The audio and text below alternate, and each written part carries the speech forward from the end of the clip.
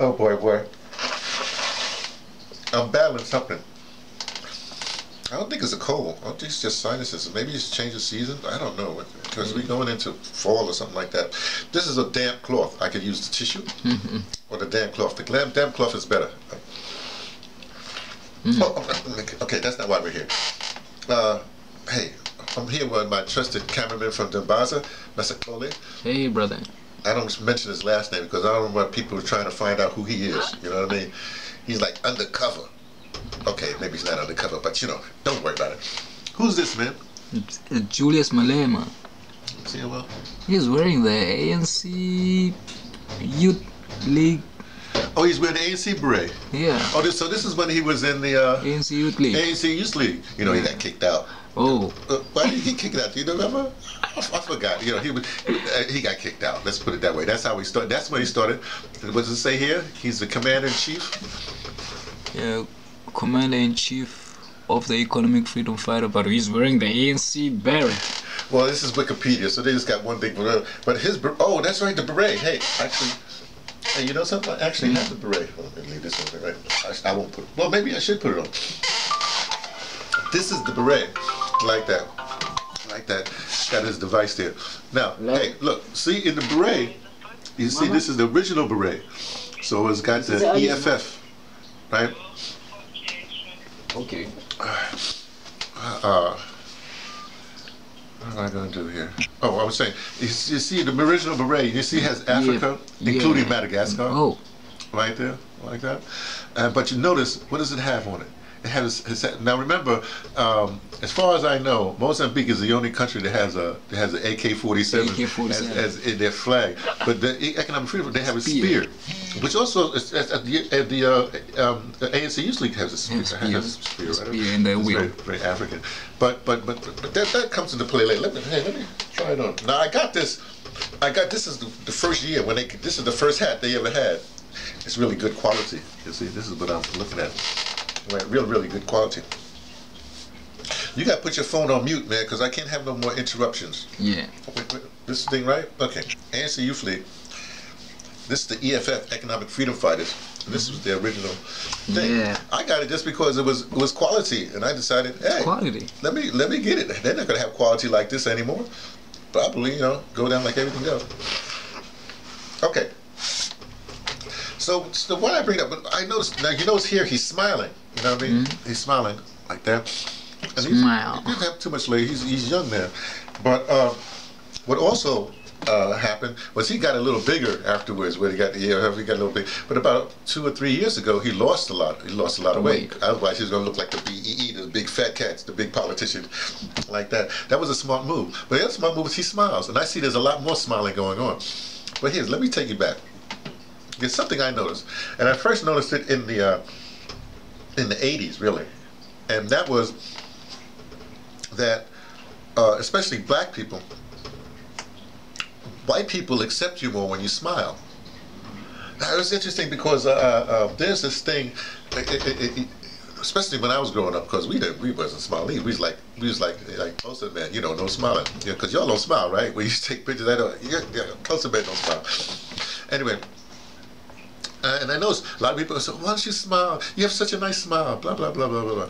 Then if you look at your stars, some of your stars, some of your, like for instance, Eddie Murphy got over on his smile. You know, it, it was a smiling thing. If you smile, they like you. You know what I mean? Hey, the biggest, the biggest smiler, that I call a Cheshire Cat, is was Barack Obama.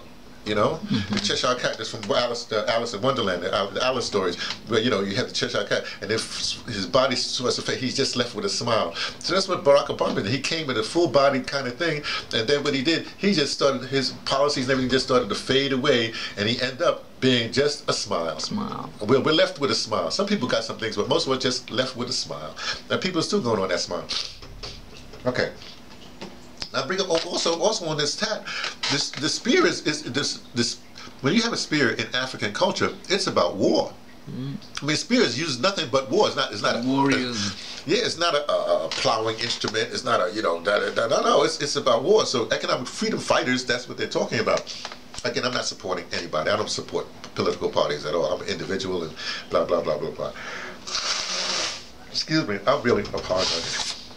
So I'm saying that. So if you smile, you sort of get over. That's the whole thing for some strange reason. And there's a lot of difference between white people and black people. I mean, culturally. I mean, not just culturally, but I should say, I should say, white people and non-white people.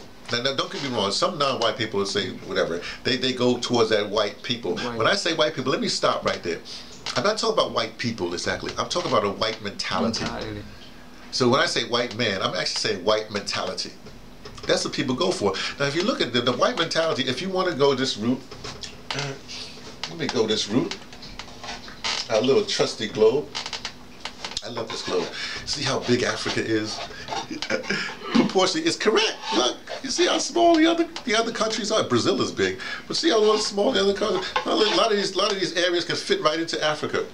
But what happens is now think about it, way back when you're in the savannas or whatever that is, down, you know, equator or wherever, where the equator. You're down here, whatever have you. You need to get some food. So you know, you, you know, what, do you do? You uh, you know, you get a you get a banana off the tree. If there's bananas back then, you know, whatever. You just get it off the tree. Walk along, get it off the tree. Da da da. You see some wild animals, you leave them alone because you know you got a choice between being a vegetarian or actually back then I don't think they killed a lot of animals. What they probably did was they, they scavenged like everybody else, like the hyenas and stuff like that. But I don't know what happened back then. I'm not a historian or a paleontologist or whatever those people, you know, anthropologists, those people do. Okay. So I'm thinking, here's how did that that that that uh, that white mentality Mentality. happen? And there's a book a long time ago, I read a long, long time ago, it was The Iceman, or something, the Iceman, about the ice people. You know what I mean? It's just, whatever, it's written by a white guy. Anyway, but they're basically, and you just think about this. If you're in the savannas and you, and you need food, whatever have you, just go pick it off a tree or, you know, prop out the ground or whatever it is, you, you keep on moving, you know? uh, the people up there in, in Europe, way up there, you know, it was, it's you know way way up there where it's cold. They don't get no no, no sun most of the year, whatever have you. Especially when the winter comes, they got to huddle up in caves and stuff like that. So your mentality develops differently. In, in, in, in other cultures where it's sun, you just out. India, you know, you're just out, hey, blah blah blah. So you have an outgoing personality. If you have so many months out of the year, you got a hoard and everything. You got, you know, make sure you have enough for your family. You become tribal. You, suspicion of anybody that comes around. So you develop a whole different thing. I'm talking about thousands and thousands of years, right? So your mentality is like uh, me first, family first, which is fine. People do that, but but the, the way the way it goes off the rails is like nothing for anybody else. I, I gotta be so far above that I gotta that I have layers of protection Protection. you know so so i think that that, that part of this whole thing uh, one of the things I advocate, I say you have to stop listening to this white mentality. If it's a white mentality, White don't people. listen to it. The whole system has got to change. It's got to change for this white mentality, which means you got to change the whole thing. I was just listening to Max. You know, I listen to Max Keiser all the time. Keiser. And I guessed on whether we was talking this last episode. Uh, I forgot. Maybe I put it on the link. But they were talking because the beginning of the program, Stacy Herbert and him talk about news outlines, whatever. But they were they, they, they- were basically saying that um, somebody was quoting somebody saying that when the political system fails, you know, they hand it over to the to the, what happened, The political system failed, but they hand it over to the economics, to, to the bankers. No, so that's failing. But what I'm trying to say, they keep on. They have one one white mentality, hand it to another white mentality. The results are going to be the same. They're going to always want, want, want, and not share, not whatever, whatever, whatever. You know what I mean? And it doesn't make any sense because the world is abundant. You're supposed to, you know, you're supposed to. When they went all the way up, when they went all the way up there to wherever they went up there, they don't. Not only did they lost lose heat, they lost their soul. They lost their humanity. That's the whole thing. It's interesting. There's a guy uh, who, uh, who I, I think should be vice president, Andrew Andrew uh, uh, Andrew Wang, uh, uh, Andrew Yang, the Yang Gang. Andrew Yang, he his his slogan is is something about humanity. I said, oh, that's interesting. Oh, you know. So anyway, uh, so so this stuff is in the air. The, the, what what I'm looking for is will people abandon that that Anglo racist white supremacist system? Bring back Ubuntu. Because that that because that Anglo racist white uh, uh, uh, supremacist system is the pure system of that mentality of scarce. No, nobody else gets anything or whatever have you. I, now the thing about Ubuntu, Ubuntu is great. and that would be great, but it can't exist in a capitalist society. Well, in this, the current fiat capitalist society, capitalism itself is just whatever it is. You know what I mean? But the but the way the, the way they've hijacked capitalism, the, I'm talking about the bankers and you know the politics, whatever. They hijacked it so they can keep on getting more and keep on pushing everybody Pushing down. down. And that's what's got to change. And the only way you can change that is by completely destroying that system. But here's the good thing: it's easy to destroy the system now. Because now this is going to the bankers, and you see everybody who supports the bankers what they've been doing. You have a clear enemy. You have a clear thing. Mm. You got to destroy that system, and that's that's that's just the way it is. It's a, it is. A short message from me, short as I can be. T for the Pattersons taking the train to Tibet, letting you know what I only suspect. Suspect. Here, at a desk of the ADOS, American Descendant of Chattel Slavery. Thanks a lot, Masixole. You can turn that off now.